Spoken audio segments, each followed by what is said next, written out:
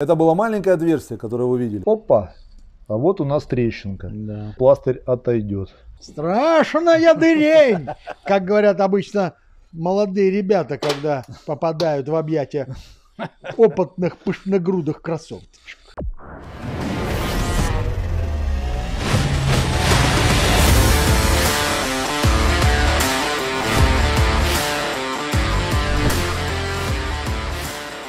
Добрый день, дорогие наши зрители. После дефектовок начинаем вскрытие и определяем характеры повреждения. Была история у нас с проколом в плечевой зоне в одной из предыдущих серий. Э, Это было маленькое отверстие, которое вы видели. Маленькое отверстие, прокольчик был, да. И внутри вы видели, что там была трещинка такая, трещинка.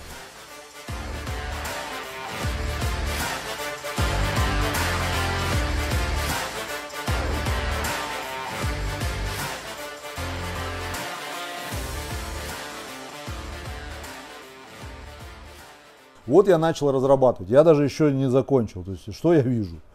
Вот что я вижу, ребята? Все. То есть здесь как минимум, как минимум 15 миллиметров, 15 миллиметров повреждения в плечевой зоне, да? Ну так вот грубо.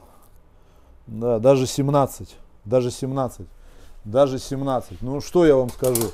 Ну давайте попробуем грубо так отрезать этот кусок ненужный нам. И поймем, стоит ли нам варить его или не стоит. Ну вот, смотрим, что мы видим. Да, в принципе, можно. Я думаю, что можно, если нужно. Э, ну, ремонт 2000 такой будет стоить человеку. Колесо 205, 55, 16, 6000 как минимум. Оно будет новое стоить, Nokia или Kion, как они по-новому сейчас называются на заводе. И судя по рисунку протектора, здесь еще миллиметров э, 8 как минимум, поэтому почти новое колесо, я бы его сделал, да. Я бы его сделал. Э, Что мы там внутри мы видим, что мы видим внутри. Что мы видим внутри. Так, а внутри мы ничего не видим. А вот сейчас увидим. Сейчас увидим внутри все. Но теперь мы, мы видим внутри. Так, извиняюсь. Так, как в кресло посадили. Вот мы что видим. Да, видите, я еще не до конца. То есть дошел, вот получается он еще на миллиметра три уходит порыв. Вот он. То есть надо будет дальше вырезать. Но на это видео мы не будем тратить пленку. Порежем, потом покажу вам. Не знаю почему, дорогие зрители, но мне нравится вырезать резину. Перед тем, как шараховать, мне так проще. То есть, как на грузовом ножом режем, так и на легковом. Ну вот, все, теперь более-менее нормально. Что там у нас внутри?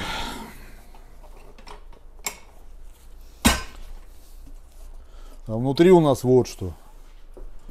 Вот у нас что внутри. То есть все 20 миллиметров. Все 20 миллиметров. Ну вот теперь мы все вырезали, немножко обработали. Сейчас просто замерим внутреннюю ширину. Мне так проще, ребят. Кому как, линейка, у кого что. Я старым методом советским. 19,5 миллиметров. Все. 19,5 миллиметров. Ну, что я могу сказать? 12 пластырь 20 12 как минимум как минимум как минимум 20 поскольку легковое колесо. И э, завариваем боковой порез. Все это А есть у тебя 20 есть 20 будем искать. Но если что 22 так все закончили с этой дефектовкой. Погнали. А, возможно сейчас попробуем заварить в одноэтапный способ, постелив пластырь, потом поставив уже непосредственно на вулканизатор. И заварим одновременно. Поскольку представители компании ТЭП, конкретно э, Аркадий Борисович, говорит, что возможно. Я знаю, что у многих производителей есть горячая серия, такая как у Росвика, допустим. которая позволяет в один прием все это осуществлять. Многие это знают, пользуются этим. Я как бы не сторонник. У меня есть свои предубеждения, но сегодня я попробую, сегодня я возьму и попробую просто. Вот как раз на этом сложном, серьезном плечевом ремонте. Ну, Заплаты ТЭК, они универсальны, их можно устанавливать как на холодную, так и на горячую, как одноэтапным, так и двухэтапным методом, и не нужно этого бояться. Ну вот это нужно э, информацию получить от первоисточника. И когда ты заручился уже официальным заявлением представителя компании, то можно экспериментировать. А Ну, так, если ты этого не знаешь, то лучше не пробовать. Мы не Ну скрываем что, эту информацию ну, во поехали, всех наших. Поехали потихонечку. Она поехали. есть, да. Начнем. Сделать нужно углубление. Принцип такой же, как с ножки. Чем больше чаша углубления, тем лучше резина будет держаться. То есть, э, если погрешности будет вулканизация, не прогрелась, плохо подушки легли, установилась, не доварилась, то из этой, э, э, так сказать, подготовленной под заварку ложбинки у нас все выскочит.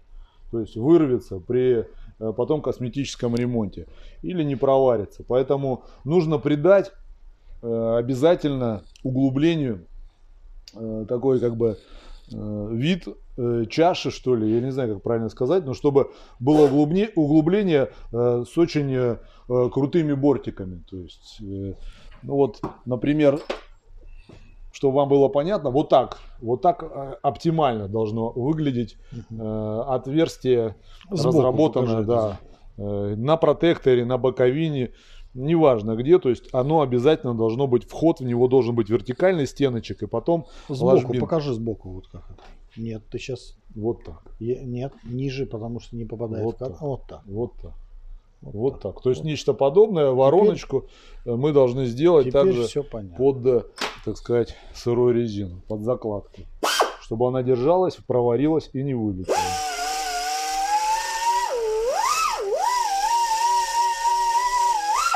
Напоминает работу зубного врача. С детства боюсь зубных врачей.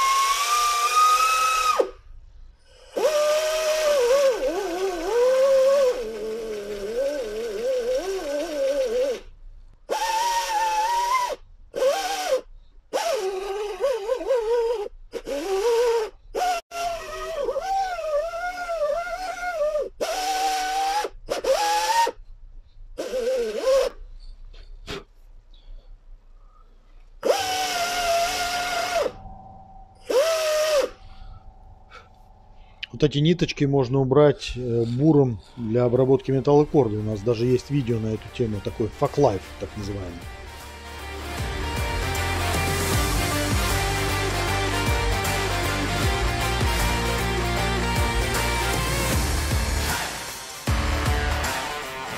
Мне нужна зажигалка. Не курю. Ну вот, кто-то кто там у нас делает эксперименты с, бур- Шайтаном, а, с бурами, шайтаном. а мы защищаем идеально просто с помощью зажигалки. Убираем нейлон. Этого достаточно. В прошлый раз я там немножко не до конца, так сказать, подготовил к вулканизации горячей изнутри покрышку. Вот здесь вот, да? И сейчас вы видите, какое у нас образовалось здесь отверстие. Хотя вот здесь вот еще трещинка есть, да? Казалось бы. Надо еще вот здесь, вот, вот, вот характерное, видите, повреждение. Я вроде бы обработал, Так, пытаюсь сейчас Ну увидеть одну секунду. а вот здесь у нас, опа, а вот у нас трещинка. Да. Вот, и эта трещинка, если мы ее не разошьем, Давайте я сделаю покрупнее сейчас. ну, сделать, вот она. Если мы ее сейчас не разошьем, Да. то она потом приведет вот к этому месте прилегания пластыря, не проварки, Так. во-первых, сырой резиной. Палец уберите. Вот. Сырая Ага, резина вот не приварится. вот и потом это всё. приведет при вот этом вот движении в плечевой зоне, бесконечного превращения колеса, возможно, э, к тому, что пластырь отойдет. Ну или начнет отходить, там воздушная подушка образуется, разрушится наружный слой заваренный и так далее. Поэтому вот эти вот трещины нужно убирать. Поработаем еще немножко. Хорошо. Поработаем немножко, а потом еще чуть-чуть.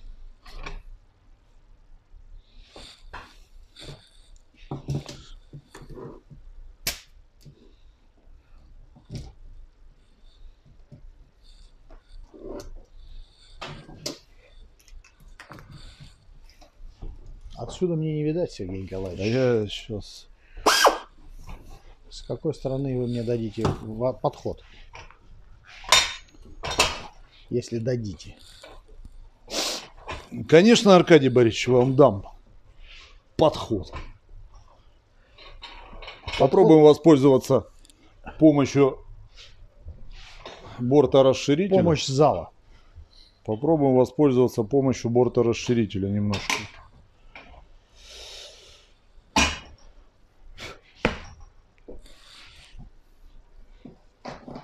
Тут, может, вам видно не будет, но вам будет виден результат. И устанавливать пластырь точно надо на не, не на распоротом э, борторасширителем шины. Шина должна быть борта в свободном состоянии. И идеально, когда дырка внизу, тогда ты сможешь четко нарисовать вертикальные линии практически.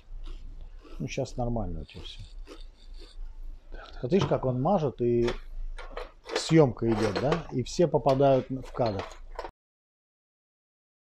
Возьмем немножко другой инструмент, Так, чтобы так, подобраться. Так, ничего не видно.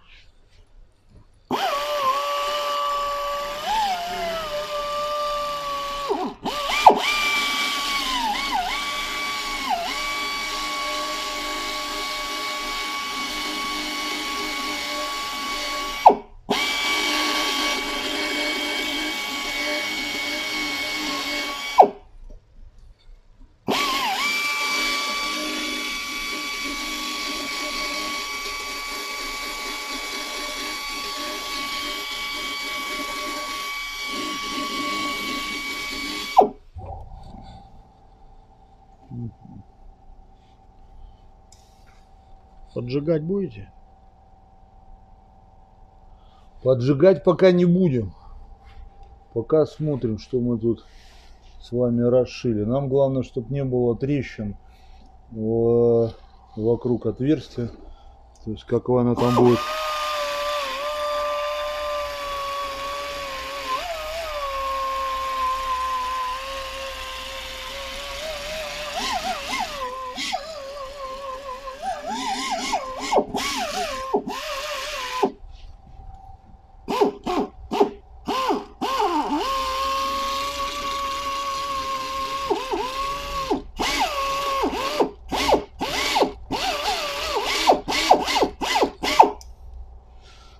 Пока, наверное, достаточно.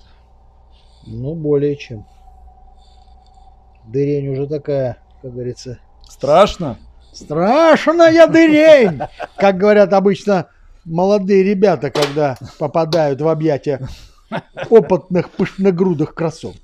Ну, это, это, это не про шиномонтаж. А вы знаете, Сергей Николаевич, что на монтаже тоже бывают случаи. Это, это не в нашем шиномонтаже. В нашем шиномонтаже только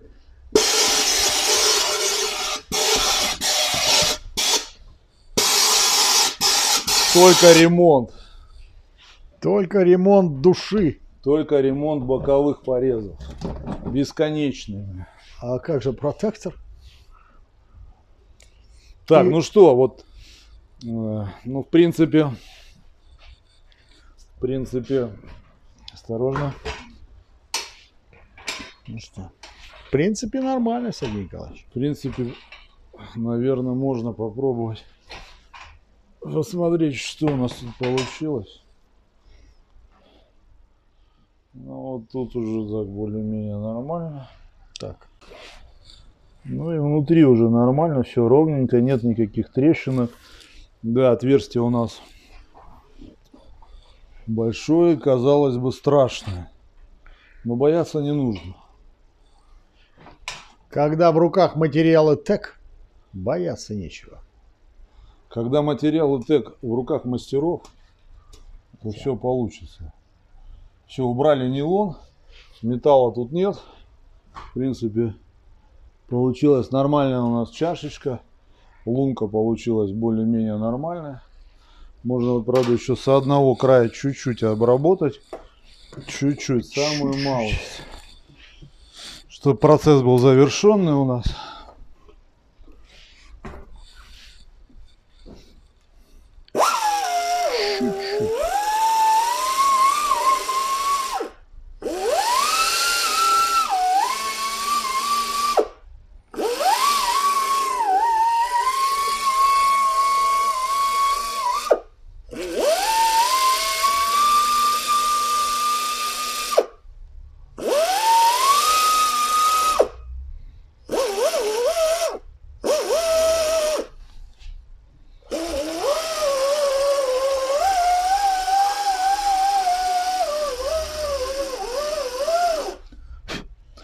Знаете, я вспомнил стихотворение Сергей Николаевич.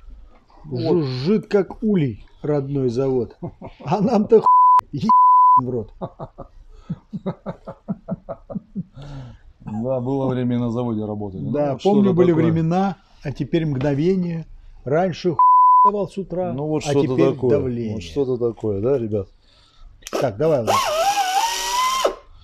Ну вот как бы так, да? А нас смотрят, кстати, взрослые мальчишки? Или только ребята? Как вы думаете? Николаевич? Как вы думаете, вот, вот эта наша ебня, она кому-то интересна? Просто хочется верить, что мы кому-то нужны.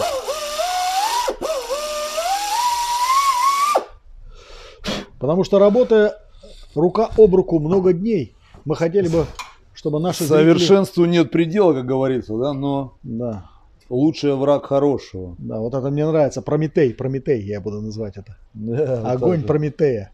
Казалось бы. Да, зажигалка Сергея. Да нет, это зажигалка шиномонтажника. Дмитрия. Дмитрия. Ну, я, поскольку не курю, взял у него, так сказать, для нужды. Ну, можно использовать еще газовую горелку. В данный момент я не наблюдаю. На Но небосклоне. Также обжигаем газовой горелкой. То есть очень удобно убирать нейлоновый слой. Это мое э, Субъективное мнение. Субъективное Я мнение. уже Вы выучил можете- все ваши фразы, вы Сергей можете Николаевич. применять какие угодно ноу-хау, то есть, но это не противоречит процессу вулканизации и никаким образом не влияет, не нарушает технологии всех химических и физических процессов. А Вот. Поэтому все красиво.